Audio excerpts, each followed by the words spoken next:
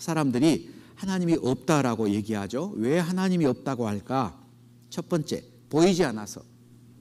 여러분, 하나님 본 사람 있어요? 나는 하나님 본 적 있다. 네, 그건 뻥이죠. 하나님 본 적 있다라는 건 거짓말입니다. 왜냐? 성경에 하나님이 말씀하시기를 아무도 하나님을 볼 수 없다. 본 사람도 없다라고 얘기하고 있어요.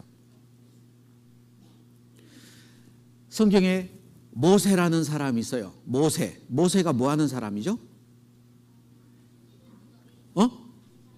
어, 양치기였어. 모세 이렇게 어? 양치고 다녔던 모세. 양을 제일 잘 몰았어요. 모세는 하나님께 부탁했어요. 하나님 한 번만 보여주세요. 그랬더니 하나님이 출애굽기에 뭐라고 했느냐? 따라서 말해 보세요. 나를 보고 살 자가 없느니라. 하나님을 보면 다 죽어버립니다. 왜 그럴까? 어, 하나님은 죄인을 미워해요. 그래서 죄인이 하나님 앞에 서면은 죄인들은 다 죽어버려. 그러니까 하나님 한번 보여주세요. 그러면은 그게 무슨 말이에요? 예, 하나님 나 죽고 싶어요. 죽여주세요. 그 말이에요. 하나님은 눈에 보이지 않습니다. 그래서 하나님이 없다라고 하는데 하나님을 볼 수 있는 방법은 따로 있어요. 또 왜 사람들이 하나님이 없다고 할까? 안 믿어도 사는데 지장 없어요. 그죠? 이 세상에는 하나님을 믿는 사람도 있고 안 믿는 사람도 있어. 그런데 하나님을 믿는 사람이든지 안 믿는 사람이든지 사는데 아무 지장이 없어요. 오히려 하나님 안 믿는 사람들이 마음대로 죄 짓고 더 잘 살 수도 있어. 그리고 나쁜 사람들이 더 잘 사는 경우들이 많죠. 그리고 죄를 지어도 당장 벌이 없었어요. 여러분도 죄 지은 적 있죠? 거짓말도 해보고 도둑질도 해봤지만 그때마다 벌이 있었냐? 없었어. 그냥 넘어갔거든요. 아, 그러니까 하나님 없다라고 생각해. 그런데 하나님이 없는 게 아니고 또 하나님이 모르는 게 아니고 하나님이 알고도 하나님이 참고 있어요. 왜냐하면 사랑이 많으니까. 그리고 죽어봐야 알지. 지금 어떻게 알아? 천국이 있는지 지옥이 있는지.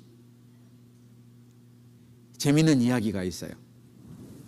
날개 있는 짐승과 날개 없는 짐승 차이가 있습니다. 그죠? 땅에서 살 때는 날개 있는 게 편할까, 날개 없는 게 편할까? 날개 없는 게 편해요. 네 발 가지고 뛰어다니면 훨씬 빠르죠. 그죠? 날개 있는 새들이 두 발로 걸어 다니려고 해봐. 힘들어. 그죠? 그런데 중요한 것은 낭떠러지에서 떨어질 때, 어? 날개 없는 건 어떻게? 떨어져 죽죠? 날개 있는 건 날아가면 돼. 구원받은 그리스도인도 죽을 때 구원 못 받은 사람은 지옥 가지만 구원 받은 사람은 천국으로 갈 수 있어요. 죽어보면 알 거야. 그런데 중요한 건 그때 가서는 후회해도 소용이 없다라는 거죠. 하나님이 만드셨을 때 크게 두 가지로 구분해서 만들었어요. 만물이 그에게 창조되되 만물이 온 세상 것이 그에게 창조되되 하늘과 땅에서 빨간 글씨 읽어볼까요? 보이는 것들과 보이지 않는 것들. 어, 하나님이 세상을 만들 때는 눈에 보이는 것도 만들고 보이지 않는 것도 만들었어요. 여러분, 눈에 보이는 것만 있을까요? 보이지 않는 것도 있을까요? 어, 보이지 않는 것도 있어요. 뭐가 있을까? 공기, 바람, 냄새, 소리, 향기, 음파, 오. 오, 3학년이 좀 소리를 음파라는 어려운 단어도 쓰네. 어. 그런 게 있죠? 목사님이 이건 뭐예요? 북이죠. 목사님이 전에 유치부 어린이들과 공부하면서 유치부 어린이들에게 물어봤어요. 눈을 꼭 감으면은 북소리가 들릴까요? 안 들릴까요? 그랬더니 유치부 학생들이 뭐라고 하냐? 눈을 꼭 감으면 북소리가 안 들린대. 그래서 유치부 친구들에게 손으로 눈을 꼭 가리고 꼭 가리라고 하고 북을 탁 쳤더니 북소리가 들려요? 안 들려요? 북소리가 들리죠? 오, 유치원생들이 깜짝 놀라. 어, 들린다. 이상하다. 눈을 감았는데 왜 들리지? 소리를 보는 방법은 눈으로 보는 게 아니고 귀로 듣죠? 그죠? 눈에 보이지 않는 것들을 보는 방법이 있어요. 여기도 풍선이 있는데 풍선 날아가게 할 수 있어요? 어떻게 하면 되지? 그렇지.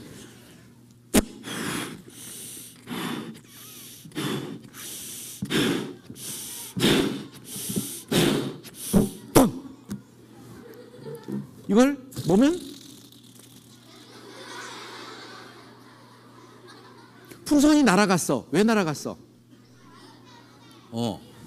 풍선 안에 있던 공기가 빠져나가면서 풍선을 앞으로 날아가게 하는 거예요.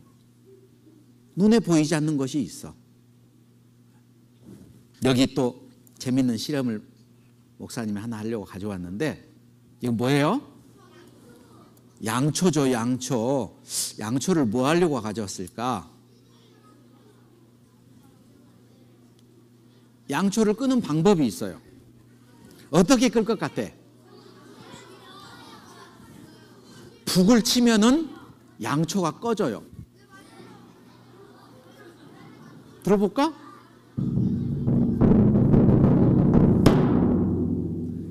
세게 치면은 꺼져. 한번 해볼게. 으.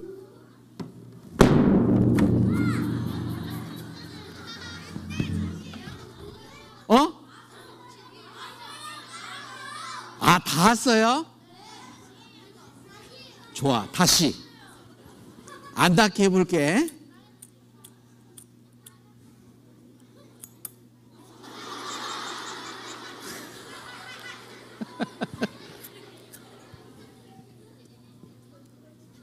닿아서 꺼졌다 그러니까 안 닿게 해볼게요. 이게 북이 커가지고 잘 안 돼.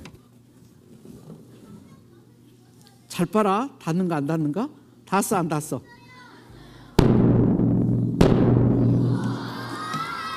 꺼져 안 꺼져? 왜 촛불이 꺼지죠? 어. 소리라는 것은 공기가 떨리는 거예요.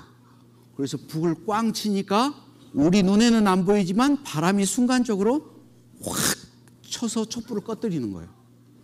눈에 안 보이는 게 많아요. 이걸 한번 보면은 여섯 살짜리 꼬마인데 한번 봐보세요. 이제 어디로 갈까? 6개월 된 지윤이 가지고 놀던 딸랑이를 숨기자 딸랑이가 사라진 줄 알고 울기 시작한다.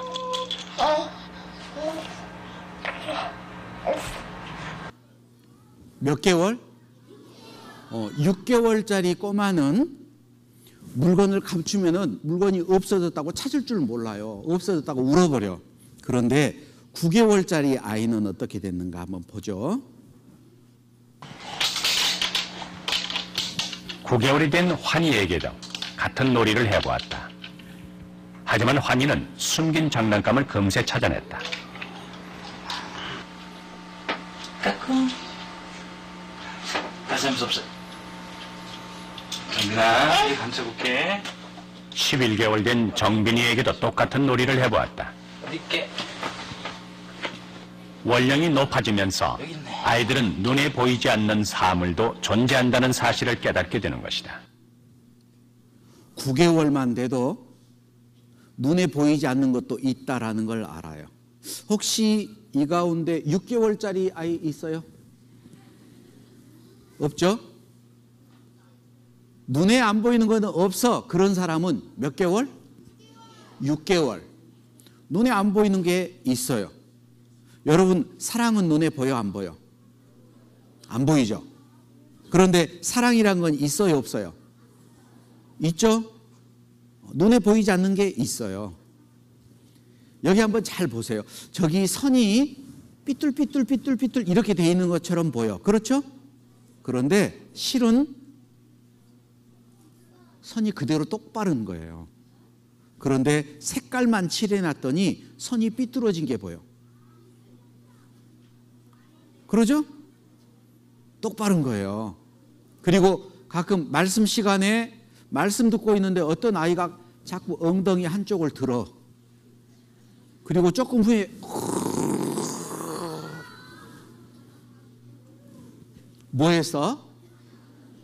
대기 오염시켰죠? 여기 한번 봐보세요.